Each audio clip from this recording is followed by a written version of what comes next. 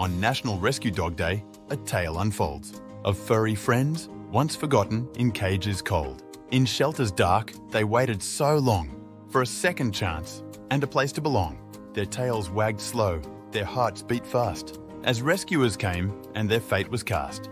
From a place so cold to homes warm and true, they left their past, their anticipation grew. With snouts so wet and ears so fine, they felt so free, no longer confined. Their rescuers smiled with tears in their eyes as they saw the joy in these furry little guys. A new leash, a new life, a new name. A second chance to play the game. No more confinement, no more fear. Just love and snuggles year after year. So here's to the rescuers who give and who care, who see the potential in those who are spare. And here's to the dogs who now have a home. On National Rescue Dog Day, may their tale be known.